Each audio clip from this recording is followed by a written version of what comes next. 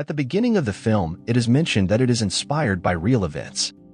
The American Samoa national soccer team, from a small island in the Pacific Ocean, suffers a heavy defeat from Australia with a record score of 31-0 in 2001.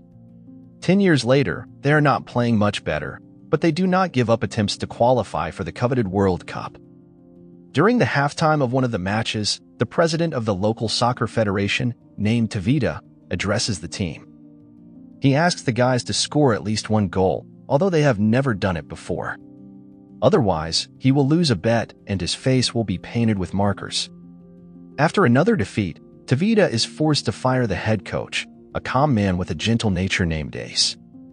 In the evening, Tavita's family has dinner together, his wife Ruth, their son Daru, a player on the team, and Ace, who lives with them. The president realizes that Ace cannot handle the stress of being a coach. Ruth informs that she has reached out to the U.S. Soccer Federation to open a position and send them a new coach.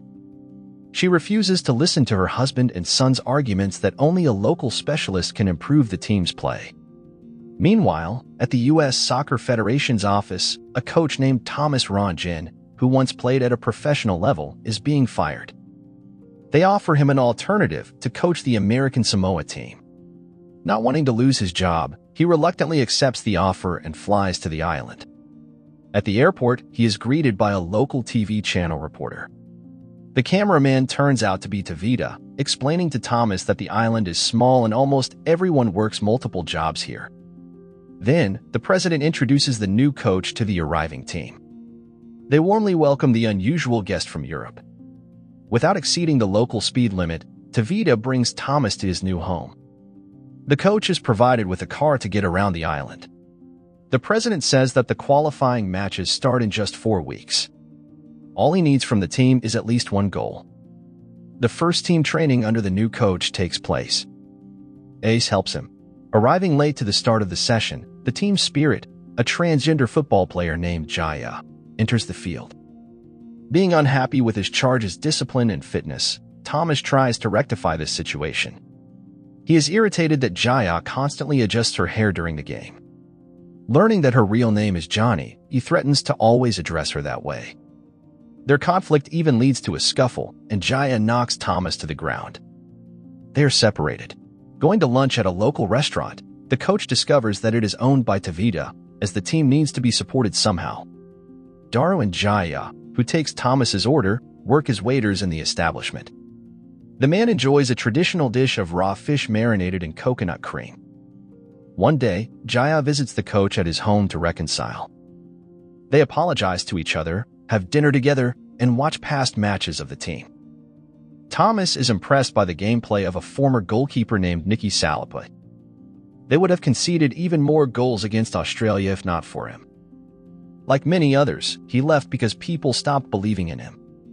Jaya helps Thomas find Nicky, but he is unsure if he wants to return to the game.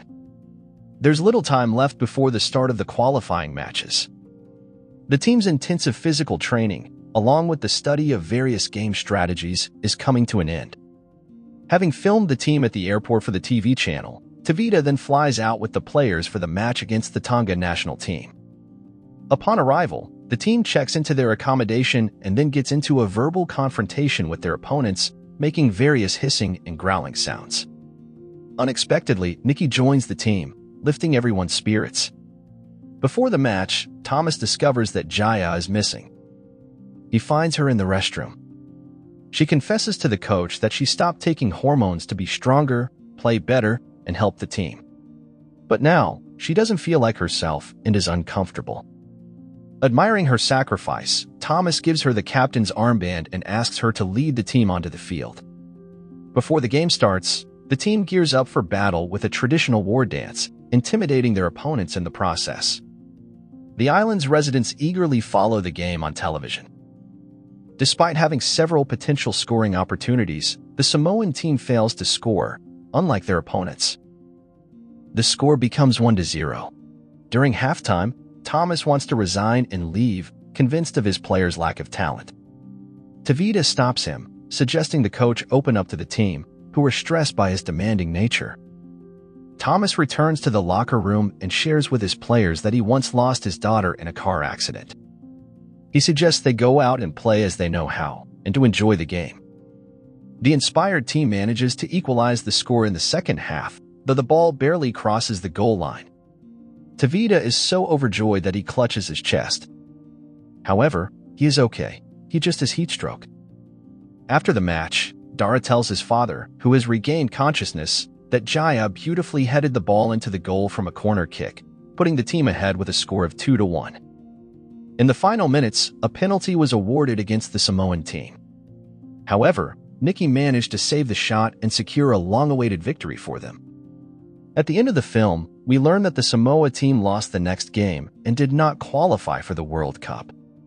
Thomas decides to take a break from soccer and leave. Tavita and the entire team thank him for his work and organize a festive farewell. Don't forget to subscribe to the channel to not miss out on new videos. Thanks for watching.